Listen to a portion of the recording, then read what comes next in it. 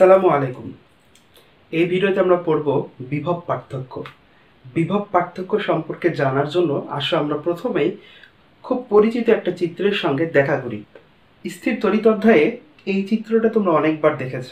এরকম দুইটা গোলক থাকতো এবং সেই গোলক থেকে প্রশ্ন থাকতো, মধ্যবর্তী আকর্ষণ বলের মান কত বা অনেক রকম। সেরকম আরেকটা প্রশ্ন ছিল গোলকদ্বয়কে যদি পরিবাহী তার দ্বারা সংযুক্ত করে দেওয়া হয়, তাহলে এদের মধ্যবর্তী আকর্ষণ বলের মান কত হবে?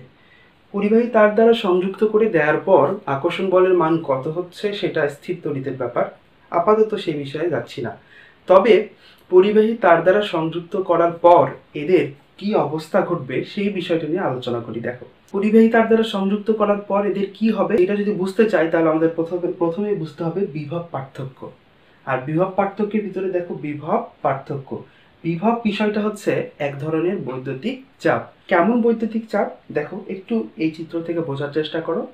এখানে প্লাস থার্টি কুলম চার্জ একটা গোলকের মধ্যে, এখানে আরেকটা গোলকের মধ্যে প্লাস টোয়েন্টি কুলম চার্জ এবং মাঝখানে পরিবাহী তার দেয়া। মাঝখানে পরিবাহী তারটা হচ্ছে এই চার্জ প্রবাহ হওয়ার রাস্তা বা পথ হ্যাঁ? এটাকে তোমরা একটা পাইপের সঙ্গে তুলনা করতে পারো হ্যাঁ? আর এগুলো আর চার্জগুলোকে তরল পদার্থ বা পানির সাথে তুলনা করতে পারো, এরকম হ্যাঁ? যে এখানে কিছু চার্জ আছে এবং এখানে কিছু চার্জ আছে এবং এই মাঝখান দিয়ে চলাচলের পথ করে দেওয়া হয়েছে হ্যাঁ? এই অবস্থা যদি হয়, তাহলে বলো তো এখন চার্জ কোন দিক থেকে কোন দিকে যাবে?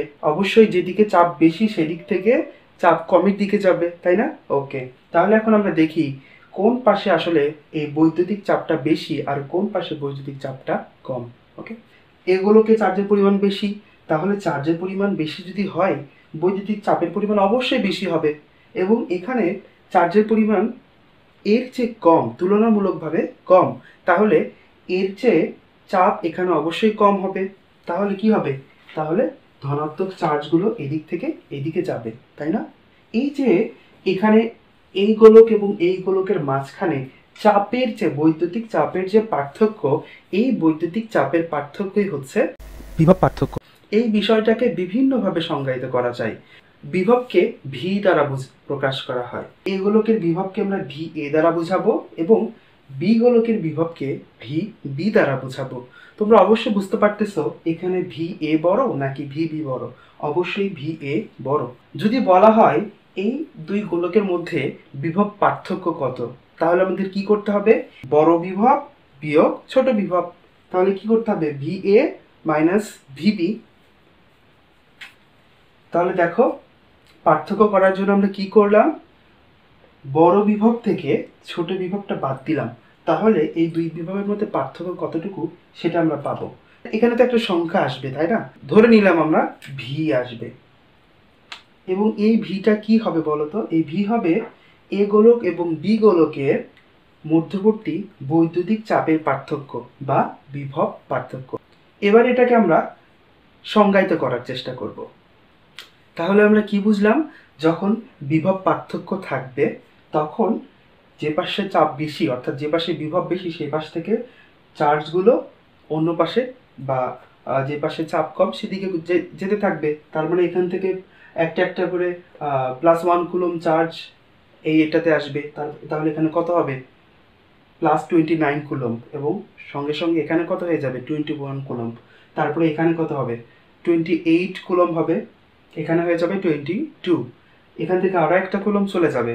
এখানে তাহলে হলো কত? টোয়েন্টি সেভেন এখানে টোয়েন্টি থ্রি তারপরে টোয়েন্টি সিক্স টোয়েন্টি ফোর তারপরে এখানে হবে টোয়েন্টি ফাইভ এখানে twenty five coulomb plus twenty five coulomb plus twenty five coulomb যখন দুই গোলকেই চার্জের পরিমাণ সমান হয়ে গেল, তখন এই দুই বৈদ্যুতিক চাপের পরিমাণ বা বিভবের পরিমাণ সমান হয়ে গেল। তাহলে দুই দিক থেকে যদি সমান পরিমাণে চাপ থাকে, সেখানে কি আধানের আদান প্রদান হওয়া সম্ভব? কখনোই সম্ভব না, তাই না? তাহলে আমরা বলতে পারি যে আধান প্রবাহিত হওয়ার জন্য অবশ্যই বিভব পার্থক্য থাকতে হবে। বিভব পার্থক্যকে অনেকভাবে সংজ্ঞায়িত করা যায়। তবে এখানে আমরা কীভাবে সংজ্ঞায়িত করছি দেখো। ধরে নাও ওয়ান কুলম এক চার্জ এই গোলক থেকে বের হয়ে এ বিন্দুতে আসলো এবং এ বিন্দু থেকে এবার বি বিন্দুতে আসবে। এই ওয়ান কুলম চার্জকে একটা বিন্দু এ এই এ বিন্দু থেকে আরেকটা বিন্দু বিতে নিয়ে আসতে যে পরিমাণ কাজ করতে হবে, তাকে ওই দুই বিন্দুর বিভব পার্থক্য বলে। তাকে ওই দুই বিন্দুর বিভব পার্থক্য বলে। আমি আরও একবার বলছি, খেয়াল করো। প্লাস ওয়ান কুলম চার্জ বা একক ধনাত্মক আধানকে কোনো একটা পরিবাহীর বা বর্তনীর এক বিন্দু থেকে অপর একটা কোনো বিন্দুতে আনতে মোট যে পরিমাণ কাজ করতে হয়, তাকে ওই দুই বিন্দুর মধ্যবর্তী বিভব পার্থক্য বলে। এবার আসো বিভব পার্থক্যের সূত্রটা কীরকম হবে, বিভব পার্থক্যের সমীকরণটা কীরকম হবে সেটা একটু বোঝার চেষ্টা করি।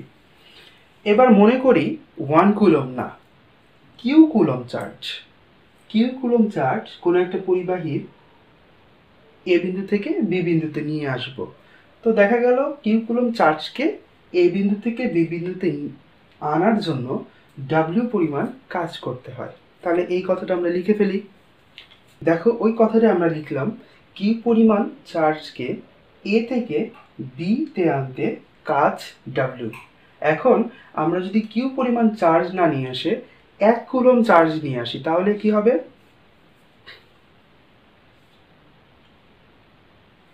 দেখো, কিউ পরিমাণ চার্জকে এ থেকে বিতে না নিয়ে এসে আমরা যদি এক কুলম চার্জকে নিয়ে আসি ডাব্লিউ ভাগ কিউ, তাহলে এই ডাব্লিউ ভাগ Q W divided by Q, এই এই অংশটা কি বোঝাচ্ছে? এই অংশটা বোঝাচ্ছে এক কুলম পরিমাণ চার্জকে এ থেকে বি বিতে আনতে কৃত কাজ। আর একটু আগে আমরা সংজ্ঞায় পড়লাম, এক কুলম চার্জকে একটা বিন্দু থেকে অপর বিন্দুতে নিয়ে যেতে মোট যে পরিমাণ কাজ করতে হয় সেটাই বিভব। আর এখানেও সে একই কথা। আমরা বলতে পারি, এটাই বিভব পার্থক্য, অর্থাৎ ভি ইকুয়ালস টু ডাব্লিউ ভাগ কিউ বিভব পার্থক্যের একক হচ্ছে ভোল্টেজ বা ভি দ্বারা বোঝানো হয়।